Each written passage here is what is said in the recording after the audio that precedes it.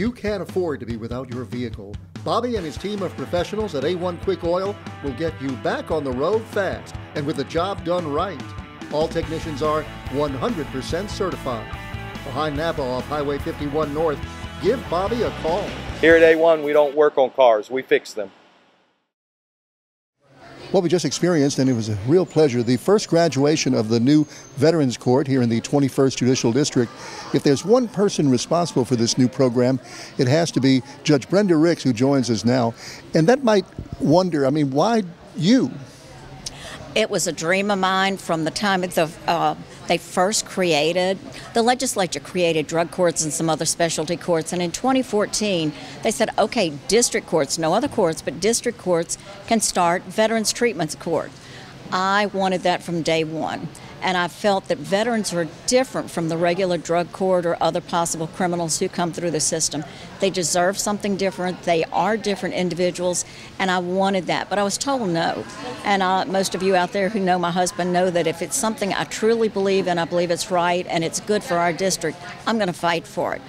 Well, I kept fighting, never could get it. But our district is now on a two year rotation for chief judge. When it was my time to do the chief judge rotation, that was the number one goal I wanted. And I was again told no. But as if you heard the interview for everything, the uh, graduation, Judges Abels and Dykes were right outside my office at the time I went out, and they said, Yes, we will help you. We found a grant. We were told, no, the, we're not going to write the grant. You can't do it because there are only 10 in the entire nation. I begged and got our assistant judicial administrator to write the grant. We were awarded one of those grants, and it's hundreds of thousands of dollars. It got us started on this. The Supreme Court gave us their blessing, and here we are today. We've had our graduation. This is a 10 year dream come true, one of the goals I had as Chief Judge, and one of the highest accomplishments I've seen. I love this court, and I hope everybody out there that knows a veteran will, if they get in trouble, will encourage them to do this. I've been talking to some of the family members who've said it's changed their family's life, changed the veteran's life, and we thank them so much for that. And thank you for letting us get the word out about this. Because we're in Amite now, but how do you incorporate Livingston into this program? We have a 21st Judicial District Court with three parishes Livingston, St. Helena, and Tangipahoa. So Judge Abels handles the Livingston Court, Judge Dykes handles St. Helena and Tangipahoa. And our treatment staff is housed in the Baptist area. The veterans go there for different uh, treatments programs. If they have to do inpatient, that's set up through our counselors, through the staff. We have assistant district attorneys who volunteer their time, public defenders who volunteer their time, the deputy clerks of court volunteer their time. We have mentors who are uh, veterans who stand beside the veterans, help them with any calls in the middle of the night, anything they may need. Phenomenal people everywhere are volunteering to uh, who believe in this program. I think our problem is in the United States we have two views on the criminal justice system. One, they want punishment and the other group wants rehabilitation. You can mesh those things, but it's not easy. It is very, very hard. When we started the program, we ID the, the veterans in that may be in jail through their attorneys, through anybody else, and it's very hard. The first person I referred to our Veterans Treatment Court did not make the program.